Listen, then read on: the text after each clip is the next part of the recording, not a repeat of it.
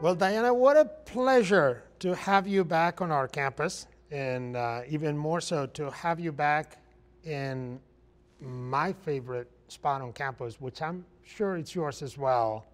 What a what a magnificent uh, building. If that's okay, I think we have an appropriate separation. Maybe we can take off our I, masks. I would okay? love that. Yes. Perfect. Um, I'll tell you, since we opened this building um, a little over a year ago, every visit that I have to campus, I bring him here. And, uh, and everybody is in awe when they come in and they know it's something, something special. I am so thrilled that we achieved the Living Building certification after all this work. I know you are too. Why are you so excited? And I am excited. um, I wasn't sure at the beginning of the pro project whether we would be able to succeed because we are in a hot, humid environment here. Well, you know, when when I arrived and I learned about the project, when I met you and and your family and, and the folks at the Kendeda Fund, everybody said it's this is not a gift, it's a challenge. It's like, okay, well, I like this kind of challenge. It's like, no, no, it was a challenge because because the, the idea was we're going to support this building as long as you agree to do everything it takes to get this very strict certification of a living building uh, challenge. And then it became a, a, a, a, partnership. Well, I now get it um, in the sense that by, by developing that partnership, by challenging Georgia Tech to try to do better, to try to stretch our design thinking, to, to bring in all the elements of not just environmental sustainability, but, but of, of beauty, of well-being, of inclusion, it has helped us all rethink what a campus is.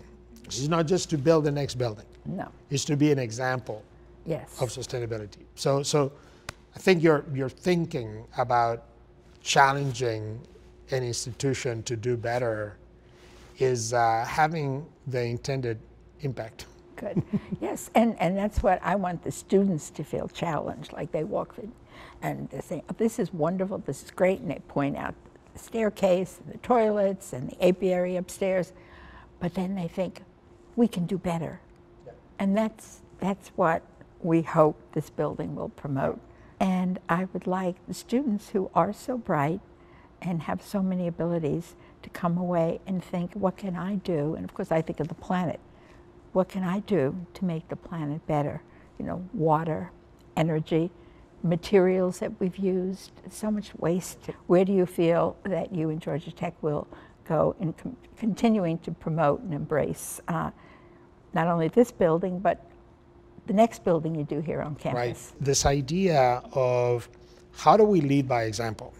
Oh, it's not just I've what we teach, motto. it's just not what we do research on, but how do we make sure that our campus, our buildings, also how we handle our business, our practices, that somehow um, we walk the talk and that we inspire those students and, and people who somehow come in touch with, uh, with Georgia Tech, that they walk out with a different sense of what should be done.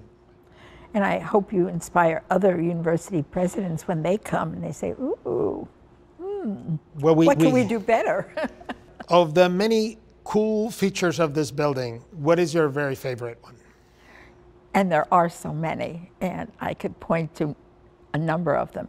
But apropos to the conversation we had earlier, this section where you're inside and you're outside, uh, that ability to feel like you're part of the environment, even as you're in, as you're in here working. And one thing I loved about the Kendeda building is all of the ways that um, your people or the subcontractors have used um, reclaimed wood in, in, new ways.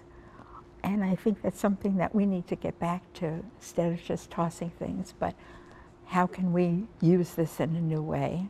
And, Absolutely. Uh, Diana, I, I uh, on, on behalf of all of us at Georgia Tech, once again, I can't thank you enough mm-hmm. for choosing Georgia Tech for that challenge. I am delighted to be the first building of its kind in, in, In the, the in southeast, the southeast with all its humidity. with the humidity and temperature to earn this, this, this incredible designation of a, of a living building. We're incredibly proud. Um, you have made a difference, and uh, the effect. Will continue for years and years to come. that thank you, warms my heart to hear you say that. Thank you.